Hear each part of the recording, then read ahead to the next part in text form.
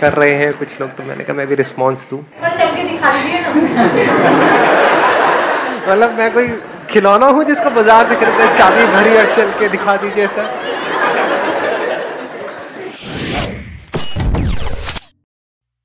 Sir जो successful entrepreneurs होते हैं लाइक उनकी लाइफ स्टोरीज ऐसी होती है जिस पे बुक लिखी जा सकती है। और कई सारे चाहते हैं कि बुक लिखें बट उनकी सबसे बड़ी प्रॉब्लम होती है टाइम। और साथ में राइट स्किल सेट भी नहीं होता उनके पास में लिखने का। तो अ, मैं एक डेढ़ साल से एक बिज़नेस पे काम कर रहा हूँ द बुक्स फैक्ट्री जिसमें ये है कि हम लोग उन सक्सेसफुल ऑन्टरप्रनोर्स को अप्रोच करते हैं जिसमें हम लोग उनका इंटरव्यू लेते हैं। मतलब उनका शायद आठ से नौ इंटरव्यू लेते हैं हम लोग और हर चैप्टर पे एक दो इंटरव्यू होता है। और उसके बेसिस पे हम लोग डिफाइन करते हैं कि एग्जैक्टली exactly आपके क्या थॉट्स है क्या आइडियाज़ है क्या आपका विजन है बुक का। और उसके अकॉर्डिंग जो मैंने एक एंजल राइटर्स की टीम बना के रखी है अ, वो भी टीम क्या है वो बस फ्रीलांसिंग वेबसाइट से मैं लेता हूँ और वहाँ से मैं लोगों को हायर करता हूँ। जितना वो पेमेंट करते हैं उसके अकॉर्डिंग मैं उनको हायर करता हूँ। और बेसिकली उसके अकॉर्डिंग उनके थॉट्स के अकॉर्डिंग उनके विजन्स के अकॉर्डिंग हम लोग उनका बुक लिखते हैं फिर बुक पब्लिश करते हैं अमेजन वगैरह पे। प्रमोशन करते हैं मार्केटिंग करते हैं। तो इससे काफ़ी प्रॉब्लम सॉल्व होती है। तो क्वेश्चन ये है कि बिज़नेस ठीक चल रहा है? यूएसए में मेन क्लाइंट्स मेरे आ जाते हैं पर इंडिया वाले जो क्लाइंट्स हैं वो टैप नहीं होते वो उतना पेमेंट करते नहीं है वो पैसा उतना देते नहीं है वो कहते हैं इतना तो बहुत ज़्यादा है। तो सर ये प्रॉब्लम था कि इंडिया में कैसे मार्केट को कैप्चर किया जाए? आप कह रहे हैं यूएस में तो ये चल रहा है बिज़नेस आपका। कितना चल रहा है? मतलब वहाँ पे भी ज़्यादा नहीं चल रहा होगा आई एम नॉट मतलब दो से तीन क्लाइंट्स पर मंथ के आ जाते हैं। आ जाते हैं which is a good thing which is a good thing और इंडिया में आप कितना मांगते हैं उन लोगों से जो जो नॉर्मली जो यूएसए वाले जो क्लाइंट्स ये सब बातें शेयर करने में ठीक है ना? चलेगा हाँ ठीक है। तो सर यूएसए वाले जो क्लाइंट्स हैं वो around twenty to twenty five thousand dollars देते हैं। Okay which is around fifteen to sixteen lakhs हाँ। उसका around forty fifty fifty percent margin बचता है हमारा। राइट बट इंडिया वालों से भी मैं इतना एक्सपेक्ट करता हूँ तो they don't they can't afford it हाँ वो कितना कहते हैं? कितना दे सकते हैं उतना वो जैसे कि five to six lakhs right मैंने ना स्टार्टिंग में इंडिया से ही स्टार्ट किया था। हाँ। मैंने स्टार्टिंग में दो से तीन लाख रुपए में भी वो पैकेजेस बेचे थे। बट उससे ज़्यादा वो जाते नहीं है। उससे ज़्यादा वो इंटरेस्ट शो नहीं करते हैं। आई अंडरस्टैंड इंडिया में थोड़ी सी मेंटालिटी है ही कि अब वो बिजनेसमैन अगर बड़ा भी है तो जैसे आप बात करोगे ना, दो चार लाख रुपए की तो सोच में एकदम से पड़ जाएगा। यहाँ पे क्या है कि people don't look at even marketing and advertising for that matter as an investment they look at it as an expense कुछ भी करने में उनको ये लगता है खर्चा है, खर्चा नहीं करना है। हाँ कमाई की बात है तो आ जाए, जहाँ से आ रहा है, जितना आ रहा है, आने दो। देना नहीं है, जेब से एक रुपये भी निकालना नहीं है। तो अब आपको क्या करना है, अपने बिज़नेस मॉडल को ऐसा बना देना है कि वो खुद आपके पास चल करके आए और वो कहें कि लीजिए पैसे और प्लीज़ हमारे लिए ये करिए। अगर ऐसा हो गया तो कमाल हो गया ना? मज़ा आ जाएगा हाँ अब कैसा होगा? It is very very simple आप क्या करो? बिज़नेस मॉडल को हल्का सा ट्वीक करो। जो यूएस का आपका चल रहा हो तो चल ही रहा है। वहाँ पे मार्केटिंग अपनी और तेज़ आप कर सकते हो तो डायरेक्ट कर रहे होगे आप। आप निकाल करके यहाँ से वहाँ से डेटा और उन लोगों को डायरेक्टली अप्रोच कर रहे होगे। हाँ जी के थ्रू यहाँ से वहाँ से। इंडिया में आप क्या कर सकते हो? बजाय एक एक का करने के आप एक इंडस्ट्री को पकड़ो। कितनी इंडस्ट्रीज़ हैं? मतलब industries in the sense sectors हो गए ना? तो कितने सेक्टर्स हैं इन टोटल इंडिया के अंदर? कई सारे। बहुत सारे हैं। और उन सेक्टर्स को भी सब सेक्टर्स में डिवाइड किया जा सकता है। तो आपने एक सेक्टर पकड़ा। मान लो manufacturing related to pharma industry अब आप कह रहे हो कि मैं एक बुक लिख रहा हूँ और आपके पास में एक्सपीरियंस है ही क्योंकि आपने यूएस के लिए लिखा है तो प्रोफ़ाइल है। You are not a newcomer in this field experience है आपके पास में। तो अब आप अप्रोच करोगे कि we are a company with so much of experience ये वो आपने पहले तो अपनी खुद की प्रोफ़ाइल बनाई क्योंकि जाते आपसे सबसे पहला सवाल पूछेंगे आपने क्या किया है? किसके लिए किया है? नहीं किया है तो हम क्यों करें? तो आप कहेंगे पहले हम ऐसे इंडिविजुअल्स के लिए करते थे अब हम क्या कर रहे हैं? फार्मा इंडस्ट्री के ऊपर हम एक बुक लिख रहे हैं कि फार्मा में टॉप हंड्रेड ऑन्टरप्रेन्योर्स कौन है हमारे according okay getting I am coming from आप कह रहे हैं कि एक बुक में हाँ। हम लोग कई सारे एंटरप्रेन्योर्स को इंक्लूड कर सकते कई सारों को इंक्लूड कर दो और उन सौ से आप एक एक लाख रुपए लो। पंद्रह लाख क्यों लेते हो एक से? क्योंकि फार्मा कंपनीज़ कितनी है इंडिया में? हज़ारों है। छोटी, बड़ी मीडियम साइज़ की, कुछ भी। तो बोलो कि हम क्या करेंगे? आपकी पूरी विजन को, आपने क्या किया, कैसे किया, ये, वो करके और उसको बताएँगे पूरी दुनिया को कि देखो, आपने कहाँ से शुरू किया था और आज आप कहाँ पर आ गए हो? कितने छोटे लेवल से आपने शुरू किया था? एक लाख रुपए देने में उनको कोई दिक्कत भी नहीं होगी। एक एक लाख रुपए अगर आपके पास सौ से आया तो आपके पास में एक करोड़ रुपए आ गया। हाँ तो अब आपके पास मार्केटिंग का भी बजट आ गया। अगर आप एक के ऊपर ही बुक लिखते हो दैट मीन्स दस पंद्रह लाख रुपए आप लगाते हो और किसी एक के ऊपर बुक लिखते हो तो उसमें क्या मार्केटिंग करोगे? मार्केटिंग के लिए भी तो पैसा चाहिए प्रिंटिंग के लिए भी चाहिए। बिल्कुल सर। हाँ तो अब आपने क्या किया? शुरू में इसकी कॉपीज कम बनवाई क्योंकि एकदम से बिकेगा तो है नहीं वो अभी भी आप कम ही बनवाते हो गए हज़ार दो हज़ार कॉपीज है जितनी भी डिजिटली हम लोग पब्लिश करते हैं लाइक ट्रेडिशनल पब्लिशिंग नहीं है। राइट आप अभी डिजिटली कर रहे हो अब यहाँ पे ट्रेडिशनल भी कर सकते हो। दोनों डिजिटल कम ट्रेडिशनल प्लस इसका आप बोलो कि एक इवेंट भी होगा जहाँ पर आप आएँगे आपको एक अवार्ड दिया जाएगा। ओके तो सब कुछ हो गया। एक पूरा का पूरा पैकेज बन गया। इवेंट में कितना लगा? पाँच दस लाख रुपए।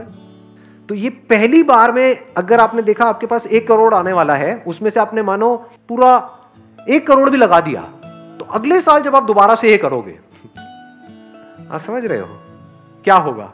क्या वो एक लाख नहीं वो दो लाख भी देने को तैयार है। सही बात। और वो खुद आपके पास आएँगे। प्लस अगले साल जो और जो लोग नहीं आए हैं they also want to be a part of it तो अब आप क्या कर रहे हो? अब आप एक ऐसा स्ट्रक्चर बना रहे हो जैसे कॉन्टेस्ट होते हैं। जब कोई कॉन्टेस्ट शुरू होता है तो कोई इंटरेस्ट नहीं लेता है।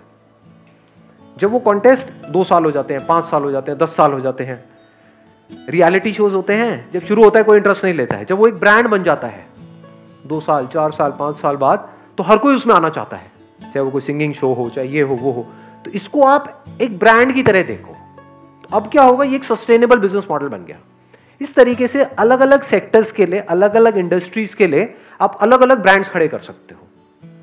Top hundred pharma entrepreneurs in India. इसको आप फार्मा भी बोल सकते हो हेल्थ केयर भी बोल सकते हो। और ब्रॉड हो गया सेक्टर अब इसमें हॉस्पिटल्स भी आ गए फार्मा कंपनीज़ भी आ गई सब आ गया।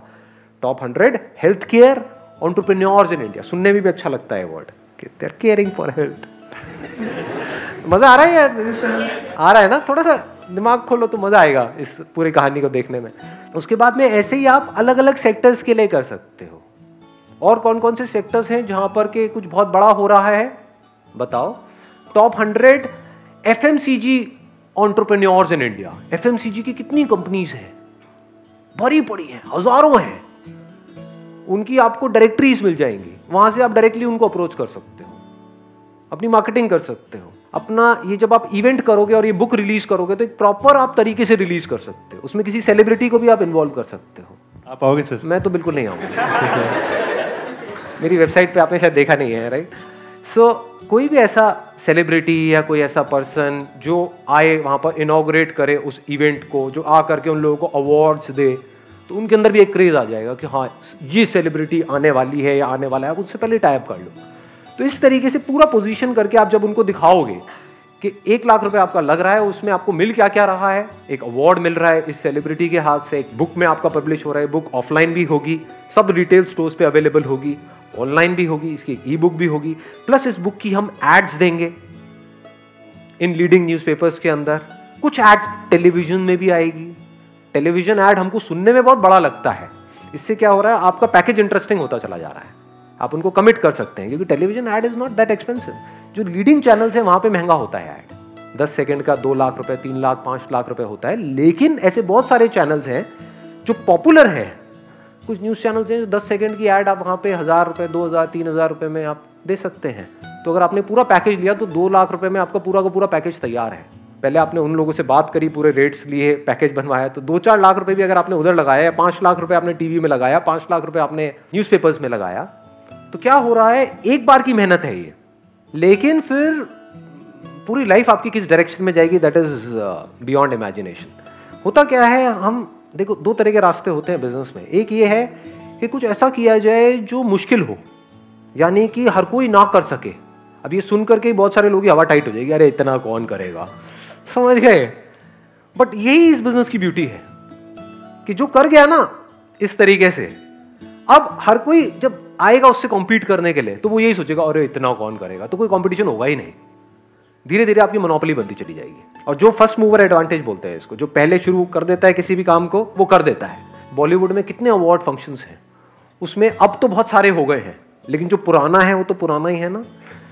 बॉलीवुड अवार्ड फ़ंक्शन के नाम से सबसे पहला नाम कौन सा आता है हमारे माइंड में? फ़िल्म फेयर आता है। क्यों? सबसे पुराना है। और आने वाले टाइम में आपको स्पॉन्सरशिप्स भी मिल सकती हैं इसकी, कि this book sponsored by this powered by this presented by this एक एक स्पॉन्सर आपको 20-20 लाख 50-50 लाख रुपए देगा। तो ये जो पहले साल में आपका गेम शुरू हो रहा है एक करोड़ से, उसको आप धीरे धीरे करके और अलग अलग सेक्टर्स के लिए आप बढ़ा करके आप सौ, डेढ़ सौ करोड़ तक भी पहुँच सकते हो यहाँ से। कोई बहुत बड़ी बात नहीं है। और शुरू में ये पहला आपको करने के लिए कोई बहुत बड़ी टीम नहीं चाहिए, बहुत ज़्यादा लोग नहीं चाहिए। आप उनसे टाइप भी कर सकते हो ऐसे लोगों से। जो कंटेंट राइटर्स होते हैं, उनसे आप टाइप कर सकते हो ना फ्रीलांसिंग बेसिस आपको हायर करने की ज़रूरत नहीं है। राइट तो इस बिज़नेस को आप ऑलमोस्ट ज़ीरो इन्वेस्टमेंट में शुरू कर सकते हो। इसमें लगेगा कुछ भी नहीं, लेकिन जब एक बार एक क्लिक कर गया, शुरू में एफर्ट लगेगा डेफिनेटली लगेगा। एक बार धीरे धीरे आपका ब्रांड बन गया, फिर ईयर ऑन ईयर ये चीज़ होती चली गई, होती चली गई, होती चली गई तो फिर कहा जा सकते हैं? उसकी कोई लिमिट ही नहीं है। ये जो अभी इनसे डिस्कशन हुआ, उसका कुछ बेनिफिट हुआ आप लोगों को? लग रहा है जेनविनली के बेनिफिट हो रहा है? समझ आ रहा है कैसे सोचते हैं? बड़ा कैसे सोचते हैं? और बड़ा सिर्फ़ हवा में नहीं मतलब मुंगेरी लाल के हसीन सपने नहीं बड़ा वो जो प्रैक्टिकल भी हो जो भी कुछ मैंने इनको कहा वो सब प्रैक्टिकल लग रहा है रियलिस्टिक लग रहा है उसकी नीड भी है। Down the line is going to be a brand ठीक है जी जब करोड़पति बन जाओगे हमें भूल तो नहीं जाओगे ना गरीबों को मत भूल जाना भैया हमें भी याद रखना। नहीं सर। नहीं? नहीं याद रखोगे? याद रखूँगा याद रखोगे। Thank you ji.